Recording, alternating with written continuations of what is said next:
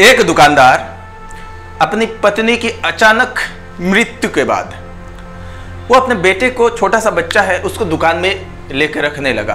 दुकान में वो साथ में रखने लगा अपने साथ, क्योंकि उसके देखभाल के लिए कोई नहीं था। वो दुकानदार सुबह जाते टाइम अपने बेटे को ले जाता और शाम को लौटते टाइम वो ले आता। अभी उसका जो बेटा जो है, वो दुकान पे जाता, जब कस्टमर आते तो उनको ज़बरदस्त तंग करता। वो क्या करता किसी की टोपी छीन लेता, किसी का बैग छीन लेता, किसी का कपड़ा पकड़ लेता, किसी का सामान पकड़ लेता, ये पकड़ लेता। तो जो जितने सारे कस्टमर्स उस दुकान में आते, सभी उस बच्चे से तंग थे, दोबारा नहीं आते। एक बार आने के बाद ये बच्चा बहुत तंग करता है, बोल के दोबारा नहीं आते। तो ये दुकानदार का जो सेल था, वो धीरे धीरे धीरे धीरे कम होने लगा, लोग कम आने लगे। अपना बेटा है, उसको समझाता, समझता नहीं, उसको बोलता, बेटा, ऐसा मत करो, लेकिन समझता नहीं, वो तंग आ चुका था। तो एक दिन उस गली से गौतम बुद्ध गुजर रहे थे। तो बहुत सारे लोग आकर उनको प्रणाम कर रहे थे। तो ये दुकानदार भी सोचने लगा कि मेरे बेटे को शायद ये कुछ आशीर्वाद दे दे तो इसका चंचल जो है, मन जो है वो ठीक हो जाए। तो ये जाकर बुद्ध के चरणों में जाकर गिर जाता और बोलता कि, भगवान बुद्ध, आप कृपा करें, मुझे बचाइए, मुझे तंगी से बचाइए, इस हालत से मुझे उभरना है। तो गौतम बुद्ध पूछते, क्या हुआ है? तो बोले कि मेरा एक बेटा है, जितने सारे कस्टमर्स आते, उन सब का सामान ये करता, वो करता, छीन लेता, ये करता, वो करता, तंग करता बहुत ज़्यादा। तो बोला कस्टमर्स मेरे बेटे के डर से अब नहीं आ रहे मेरे पास। अब मैं क्या करूँ? मेरे पास कोई राह नहीं है, मैं अपने बेटे को भी छोड़ नहीं सकता।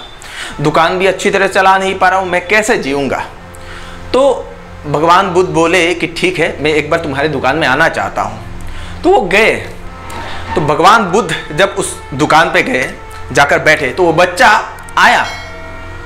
उनके हाथ में जो कटोरी था, उसको छीनने लगा, तंग करने लगा, भगवान बुद्ध को। चोटी पकड़ने लगा, ये करने लगा, वो करने लगा, तंग करने लगा। तो बुद्ध समझ गए। दूसरे दिन आए वो, एक पगड़ी उठा के आए। तो आकर बैठ गए। बच्चा आया, झट से पगड़ी को उठाया, निकाला और उसको फेंक दिया। तो भगवान बुद्ध बोले, बहुत अच्छा किया बेटा। अब एक काम करो, उस पगड़ी को उठा के लेके आओ। बेटा क्या किया? झट झट झट से गया, पगड़ी को उठा के उनको दे दिया। दूसरे दिन भगवान बुद्ध आए। आने के बाद हाथ में एक लकड़ी था और एक कुल्हाड़ी था हाथ में। वो लेके आए, दुकानदार घबरा गया। मेरे बेटे को कुछ चोट वोट नहीं लगनी चाहिए। तो वो अब वो जो लकड़ी जो है उसको पकड़ने लगा। तो भगवान बुद्ध बोले कि बेटा तुम एक काम करो, वो जो लकड़ी वहाँ पर रखो और उस कुल्हाड़ी से उसको काट डालो। तो बेटा उस कुल्हाड़ी से उसको काटने लगा। तीसरे दिन आया, भगवान बुद्ध एक पेड़, छोटा सा एक पेड़ लेके आए। तो बच्चा वो पेड़ को छीनने के लिए आया। तो भगवान बुद्ध बोले, अब तुम एक काम करो पेड़ को वहाँ पर जाकर लगा लो। तो ऐसा करता आ गया।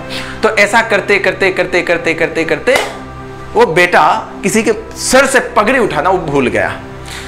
भगवान बुद्ध आते, आने के बाद उसको एक काम दे देते, वो काम पे बिज़ी रहता। आते, काम दे देते, काम पे व्यस्त रहता। कोई ना कोई काम वो दे देते। तकरीबन ये 10-15 दिन तक चला, बाद में वो लड़का किसी का पगड़ी छूना भूल गया। तब भगवान बुद्ध बोले कि तुम्हारा जो ये बेटा जो है, इसको अगर तुम कोई काम दे दो तो ये करेगा। तुम कुछ नहीं देते हो, इसलिए ये अपना मन मानी सब कुछ करता है। दोस्तों, ठीक उसी तरह ये कहानी से आपको सीखना है। इंसान का मन ठीक इस तरह का होता है। अगर आप अगर मन को खाली रख देते हैं, खाली रख देते तो ये अपनी मनमानी करेगा। खाली रखोगे तो ये सब कुछ कर लेगा, जो चाहता वो कर लेगा, गलत भी कर लेगा। करना क्या है आपको? मन को काम देना है आपको। मन को कोई काम दो यार। काम दोगे तो व्यस्त रहेगा। आपके पास कोई काम नहीं है खाली बैठे हो तो गलत सोचेगा वो। तो आपको करना क्या है? आपको खाली बैठना नहीं है मन को खाली नहीं रखना। आपको बस काम देना है। जब खाली होता तो ये काम दो वो काम दो वो काम दो। इतना व्यस्त रखो कि वो अपनी मनमानी कर ना सके तभी जा, जाके आप उसको कंट्रोल कर सकते हैं। भगवान बुद्ध के इस मैसेज को आपको याद करना है और इसको सबके साथ आपको ज़रूर शेयर करना है। कैसी लगी? ज़रूर कमेंट करके बताइएगा।